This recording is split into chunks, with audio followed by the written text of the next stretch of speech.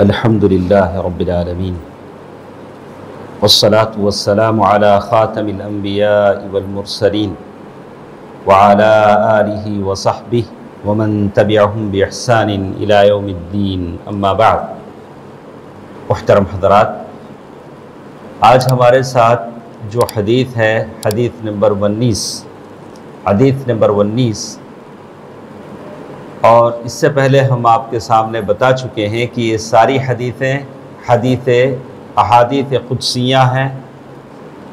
تو کہتے ہیں کہ یہ حدیث جس میں اس بات کا ذکر ہے کہ تکبر کرنا حرام ہے۔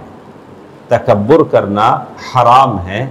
تکبر جیسے کہتے ہیں، یہ حدیث ابو سعید خدری رضی اللہ عنہ اور ابو حریرہ رضی اللہ عنہما دونوں صحابی صحابیوں سے مروی ہے۔ عن ابی سعید القدری و ابی حریرہ رضی اللہ عنہما قال قال رسول اللہ صلی اللہ علیہ وسلم يقول الله عز وجل الكبرياء ردائي والعظمة إزاري فمن نازعني واحدا منهما قذفته في النار۔ یہ دونوں صحابی روایت کرتے ہیں کہ رسول اللہ صلی اللہ علیہ وسلم نے فرمایا کہ اللہ عز و جل فرماتا ہے بڑائی میری چادر ہے۔ یہ آپ کہنے کہ جسے کہتے ہیں پرائیڈ یہ اللہ تعالیٰ کہتے ہیں کہ یہ میری چادر ہے۔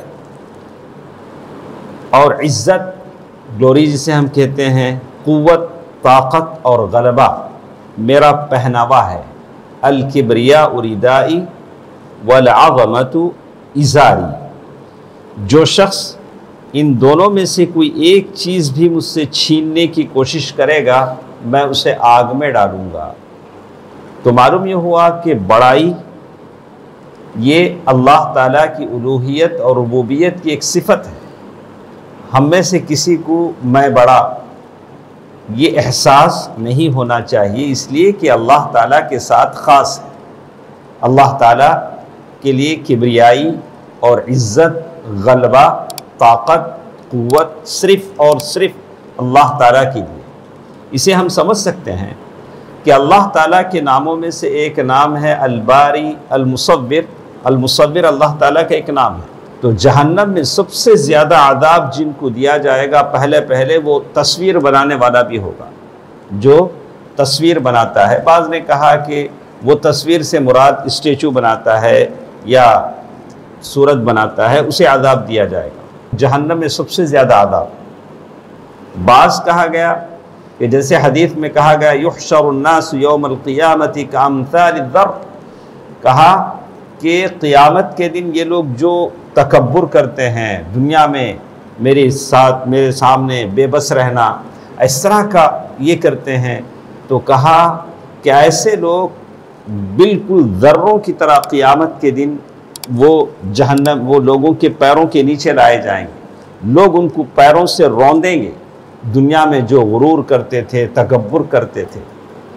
تو اس کی یہ سزا ہے جہنم میں غرور کرنے کا، تکبر کرنے کا، بڑائی جتانے کا۔ تو اللہ تبارک و تعالیٰ نہیں چاہتے ہیں، جیسے حدیث میں بتایا گیا کہ کوئی نام رکھتا ہے شہنشاہ۔ یعنی ایسے شہنشاہ شاہ شاہ جہاں ایسے نام رکھتا ہے تو اللہ تعالیٰ اسے کل قیامت کے دن عذاب دیں گے۔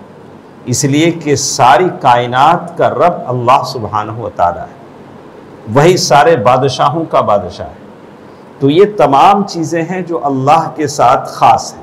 اسی لیے اس حدیث میں بتایا گیا الکبریا اردائی یہ اللہ تعالیٰ کی ربوبیت اور الوحیت کے ہیں، اسے آپ چھیننے کی کوشش نہ کریں۔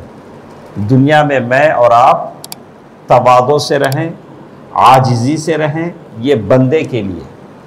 بڑائی، قوت، غلبہ، طاقت، یہ صرف اور صرف اللہ احکم الحاکمین کے لیے۔